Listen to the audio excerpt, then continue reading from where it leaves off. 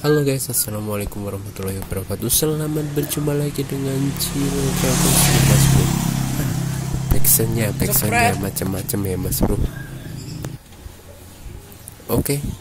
uh, eh, ini aku sedang apa namanya uh, finishing ya. Ini aku sekedar share aja buat sobat-sobat semua karena Suprafit warna birunya yang menggunakan rasio win itu belum sempat saya share. Nah, itu finishingnya seperti ini mas bro. Jadi clearnya biru semua kemudian rasionya pakai win. Nah gimana tuh rasionya pakai win? Rasionya pakai win itu kita menggunakan final gear menggunakan win ya final gear. Eh maaf banget bukan final gear. Itu adalah as couplingnya maksud saya as couplingnya menggunakan win sedangkan final as final gearnya itu menggunakan suprafit ya.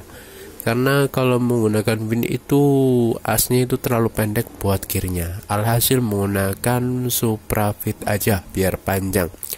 Jadi sepaket itu uh, yang rasio final gearnya itu dioplos menggunakan as dari suprafit new kemudian dipasangkan begitu Mas Bro sementara penyesuaian untuk bagian depannya di bagian as hmm, koplingnya karena kan as koplingnya itu menggunakan win ya Mas Bro otomatis ada penyesuaian dengan rumah kampas kopling daripada Suprafit New. Dan cara di gerenda aja nih Mas Bro yang sederhana tetapi juga center begitu Mas Bro. Oke e, gimana cara pergiginya mas? Apakah menggunakan e, kampas ganda? Iya bener banget nih. Untuk rasio winnya satu ini kita pasang di motor Supra Fit New dia tetap menggunakan kampas ganda. Jadi tetap e, menggunakan kampas ganda ketika di oper gigi ke depan. Tuh dia nggak langsung nyendal. Jadi seperti halnya motor bebek pada umumnya Nah nanti kalau ditarik gas dianya itu baru jalan semacam itu mas bro.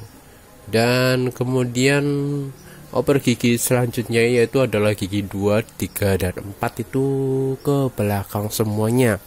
Kalau netralin ya jelas ke depan dan ke belakang dengan setengah saja. Nanti dia itu akan netral begitu mas bro. Nah sementara untuk uh, switch gearnya, switch gearnya, switch top gearnya itu kan ada ada berapa ya? Ada 5 dengan netralnya ya bukan giginya. Maksudnya adalah switch gearnya. Itu yang ada indikator gigi 1 gigi 2 gigi 3 itu di motif demikian rupa.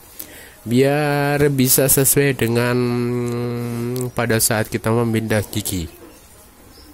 Gigi satu ke depan otomatis di angka satu kemudian gigi dua ke belakang di angka dua. Begitu seterusnya karena kalau uh, speedometer new itu kan ada giginya satu dua tiga empat lima sama netral ya. Kurang lebih seperti itu mas bro. Nah untuk performanya sendiri menurut yang punya nih menurut yang punya laporannya itu adalah nafasnya itu semakin panjang mas bro. Di hentakan pertama itu tenaganya power kemudian nafas atas itu semakin panjang dan mm, membuat si motor Suprafit New ini melesat uh, lebih cepat daripada standarnya begitu Mas Bro. Karena menggunakan rasio berat ya di bagian gigi 3 dan gigi 4 karena rasionya itu beda Mas Bro. Kalau gigi satu itu lebih apa namanya? lebih rapat, lebih ringan untuk rasio wingnya sedangkan gigi duanya itu sama sedangkan gigi 3 dan 4 nya itu rasanya lebih berat. Jadi motor itu bisa melesat lebih cepat pastinya. Nah selain itu uh, kalau mungkin kalau terbiasa dengan motor Suprafit dan rasio win ini akan sedikit lebih berat ketika ditanjakan ya tapi itu tidak terpengaruh kalau sobat itu menggunakan solo rider ya. Istilahnya nggak boncengan. Kalau boncengan ya mesti agak agak betot gas gitu mas bro. Kalau untuk pistonnya itu kemarin kayaknya pakai vario nih mas bro. Vario yang ada coakan klepnya itu. Nah, jadi nggak perlu kita harus coak klep lagi. Kalau semua papas headphone ataupun papas blok itu kita tuh nggak perlu yang namanya cuak lab lagi Oke, sekiranya segitu aja Mas Bro untuk bocoran kali ini ya tentang suprafit rasio winnya, laporan finishingnya. Thank you buat nih Mas Bro yang udah nyimak video ini ya uh, dari awal pengerjaan hingga saat ini. Thank you buat semuanya dan wassalamualaikum